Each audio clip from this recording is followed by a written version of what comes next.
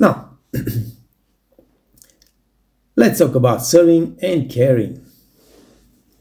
You will never be able to perform in fine dining if you are not skilled to carry properly plates and trays. So those are skills that you need to learn and practice until you're really, really good at it. Service. Proper posture. You gotta understand that uh, sometimes those trays we carry are very, very heavy and we have to protect our backs. So always maintain a straight body posture when lifting and carrying a tray. Use your knees, don't use your back. Weight distribution, carry the heavy items closest to your body and close to the shoulder because if something happens and you lose balance, then the tray most likely will tilt on the side of the shoulder and you will have a chance to keep your balance because it's going to hit your shoulder. If it's on the other side, there will nothing but the floor. Now, right side rule. Every time you move through hallways and corridors and staircases, make sure you go on the right side for smooth traffic. All right. Now, handling food trays. Now, when you carry food trays, you know, heavy food trays upstairs, downstairs, heavy drink trays upstairs, downstairs, always help with your free hand all right going downstairs upstairs with food tray this is tricky make sure you stabilize the, the front edge of the tray with your free hand. Tray placement. When we bring the food plate the tray to the table you know we are placing the tray on the tray jack or on the side station and from there we serve our guests. This is for the food. When we're talking about drinks, we are serving the drinks directly from the tray uh, to the guests. More tray service. When we're carrying empty trays, the tray should be carried vertically, you know, and that's it. Just close to your body vertically. That's how we carry empty trays. Weight distribution, you know, I said you put the heavy items on the on the inside next to the shoulder, but the weight has to be evenly distributed throughout the tray so you can have a balance and stability. Um, we can carry the trays on our palms or on our fingertips, of course, if we have strong fingers. But you have more balance when you carry the tray on your fingertips so guys, I would suggest you practice, you get stronger with time, of course, more you practice, the stronger you get, and you carry the tray on your fingertips. Sauce and hot beverage safety. This is important. Make sure that if you are, you know, you have sauce boats in hot tea pots, you know, the openings should be pointing to the middle of the tray not to your shoulder, not to outside the tray, because if you lose balance and you shake the tray and some of this hot stuff goes out of the pot, we don't want to burn your shoulders and we don't want this to fall on the head of one of your guests. So make sure those openings are always pointing to the middle of the tray. Plate carrying. Those are skills that you can learn no matter how hard you think right now that is, you can learn by practicing. And you see now how we handle those, you know, two plate carry, three plate carry, uh, even four plate carry, which is not implemented in the fine dining restaurants, but you will know because you sometimes that will be necessary. You have to have those skills. Like but it happens only down, with a lot of practice. Up. Now, left hand the service plate. plates that carry with the left hand while serving and clearing are done with the right hand in Europe. In All right. So in Europe, most of the restaurants will not allow this you to carry plates on a like. tray.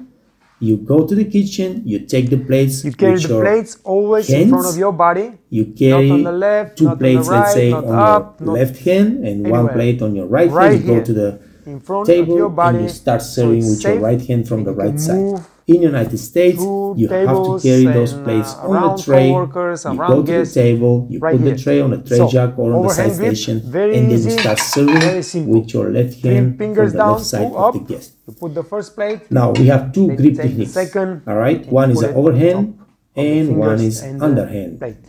And then you take the third and you go. Handling multiple plates.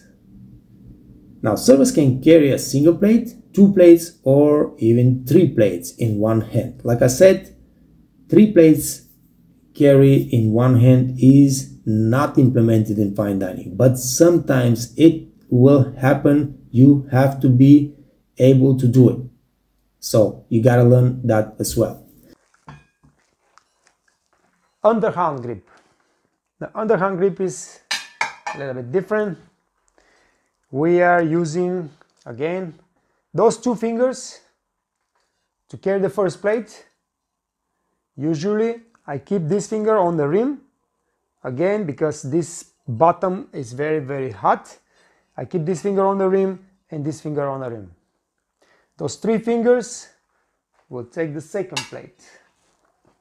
The second plate will hang also on the rim on the first on the bottom of the first and then you hold it with your three fingers pretty safely, no moving. Now, the only thing about this grip is you have to be very careful when you have stress, when you're running, uh, how much pressure you put on this finger. Because if you put too much pressure, the plate will go down, the sauce will go down, you'll create a big mess. Nobody will be happy. Um, even if it doesn't go down, if you make too much finger, the angle the, the sauce, the, the creation of the chef actually will be destroyed.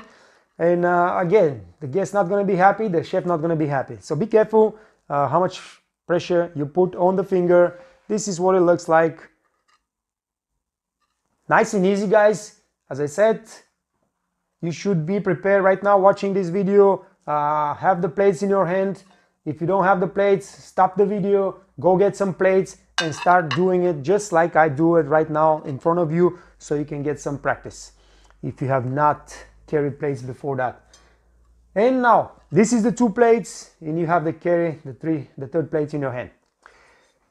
In case guys you have to carry more plates we have the same grip the underhand grip we use this grip for carrying three plates.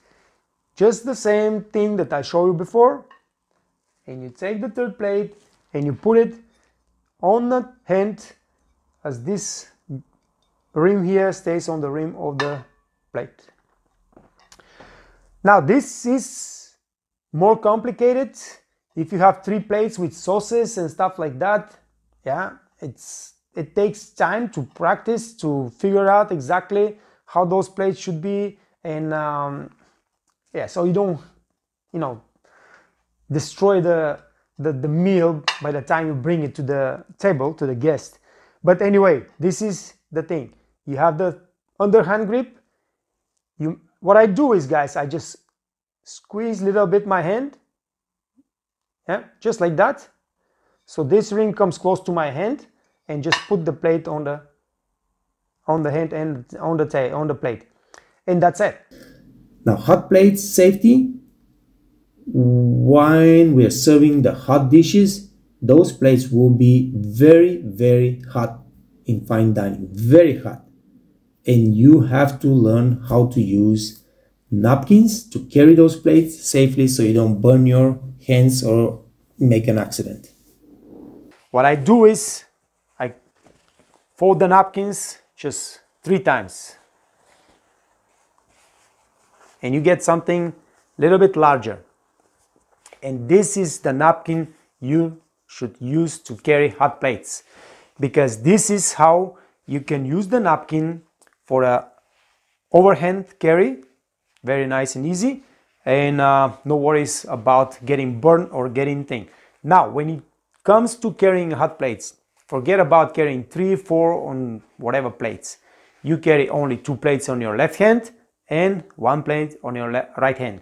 This is all. Don't try to carry more plates because you're gonna get burned or you're gonna burn some of your guests, which is even worse, I guess. We are using overhand grip first. And the overhand grip is, like I already showed many times, three fingers down, two fingers up. When this plate is extremely hot coming from the kitchen, you cannot carry with your hands. you have to carry with a napkin. You set up just like you see it here. Three fingers down, two fingers up. Okay? You have to take this napkin, take this hot plate, and put it in your hand. You still have the two fingers up, three fingers down, but just cover with the napkin. Now, if this napkin is not large enough, you're gonna burn one of your fingers. That's why I said you fold this napkin only three ways, three times. Now, again with the napkin, you take the second plate from the window in the kitchen and you put it on top. Trust me, this is perfect. This is all you need. You have the overhand grip with two hot plates. Then you take with the right hand and the napkin, the third plate. That's all you need, guys. Essential tools for service. All right. Now, the fork and the spoon are the universal working tools of the waiter. We use them in French service, in Russian service, to serve food from a food platter. And we have two different grips. One is the tongue grip and one is the flat grip. And you will see now how do we use those grips. Serving a food to a plate for the guest with a fork and a spoon. In some restaurants, we bring the food to the table in a food tray or just in a pan and you have to serve it for the guest. For example, Tafelspitz, we put the plate, empty plate in front of the guest and we have to serve him the meat, the sauce and some side dishes. How we do? This is the plate, the guest is sitting here, you go from the left side. This is your Tafelspitz. May I serve it for you? Ask the guest. If he says says, you serve it for him. First of all, I will show you from up close how you catch this. But you have to learn to take the fork and the spoon from the plate with one hand because the other hand already is busy and make the setup. That's how we do.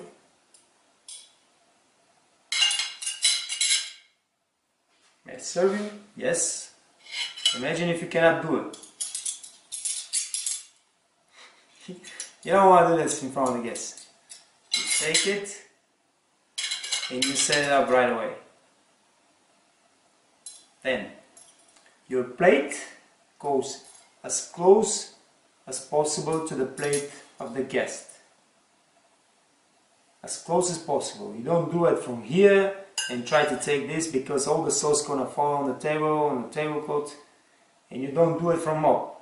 Because if you take the meat and you try to put it down, some particles will fall down the plate, splash all over the freaking guest, and it's gonna be a mess. So what we do is, as close as to the table, to the plate, and then you go for the meat you put meat in front of the guest maybe some sauce for him and then if there's a potatoes or anything like that you turn the fork and you grab the potato and you put it in front of him if it's just something that's flat like a meat or anything you can keep the fork like that go for it but if it's a potato, don't try to take it like that. Because this is not sleazy, but the potato is sleazy. And when you push it, it's gonna fly out of the spoon and it's gonna hit somebody in the face. So, if it's a circle thing, it's a sleazy, turn the fork, you take it like that, and you put it on a plate. You don't put everything. You leave something in the food, you put one piece of meat, some garniture, and then you just leave the plate on the table next to the guest. Fork and spoon also, so he can serve the second, or you can come back and serve him the second part, and just step back. Glassware handling. Now, when we are serving or clearing glasses, we do this only with a tray. In fine dining, we never carry glass by a hand, always on a tray. Proper handling, you know, we touch the stemware glasses only by the stem, the stemware glass, sorry. We touch the stemware glasses only by the stem and the tumblers by the lower third of the glass, at the bottom of the glass. So we do not leave fingerprints on the glass. We never ever put our fingers inside the glass. That is absolutely never ever. Let's say the guests are finished the table, uh, they have like five, six glasses left on the table, they're gone, and you just grab those glasses with your fingers inside to play to be quick and you know place them on the tray or carrying them like that. This is absolutely no. Stemware between fingers. Now, in a table setup, stemware glasses can be carried with the opening downs. You know, you put them between your fingers and you can carry into the table and you can set the table like that when guests are not present. If there are guests on the table already and you need to set up a new table because you know the first dining guest is gone, you put these glasses on a tray. If there are no guests and you're setting up the tables, preparing for the dinner, then of course you can carry them with uh, with your hand, but never in front of the guest. Clearing etiquette. Plates, glasses, and cutlery are cleared from the right after all guests have finished their meals, with exceptions for plates on the guest left. Now, so what that means? If a guest has finished their cocktail drink, we don't wait for all the guests to finish their cocktail drinks to clean the glasses. Now, we immediately go to the guest we take the glass away, and of course, we ask if they need another one, but we remove this empty glass, and if they want another one, we order another one. But when we're talking about plates, we're talking about appetizers, talking main courses, talking about dessert, we wait for everybody to finish and then we clean those plates. Now, exceptions from the right hand right side is, like we said before, if we are clearing the butter plate, we're not gonna reach all the way to the left of the guest in front of his face to remove the butter plate with our right hand. No, we're gonna go from the left with our left hand and we'll remove it from there. Now, clearing the table, ladies first. If we go to the table and there is a lady and gentleman, of course, we're gonna pick up the plate from the lady first and then the gentleman. If we have two ladies and two gentlemen, we're going to do the same thing. We pick up the plate from one lady, we go clockwise around the table, we keep pick up the plate from the other lady, and then we keep going with the gentlemen. Proper plate handling. Lift plates with cutlery using your right hand and hold the plate behind the guest in your left hand. So, we are taking the plate with our right hand removing it from the table and we are placing it in our left hand and we just keep doing the same thing with all the guests on the table. Cutlery placement. Arrange the cutlery properly after clearing. Very important because you don't want the cutlery to start slipping all over the plate and just falling down on the ground and things like that. Alright, so we arrange them you know let's say put the fork the knife with, between the fork uh, teeth and then we hold it with our thumb. Clockwise movement we already said. Anytime that is possible we go around the table clockwise.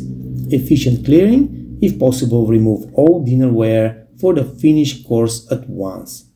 Remove the bread plate and butter knife after the main course. And then about glass maintenance continuously refill or remove empty glasses to ensure qua you know the guests have everything they need. The guests finish with their wine glass. If they drink only by glass we go we remove the glass and of course we ask the guests if they need another glass. Or if we do the service on the table uh, with a bottle of wine then we just ask the guests if they need another glass. If they say yes we bring the bottle we pour and then um, if they say no, we then remove the glass.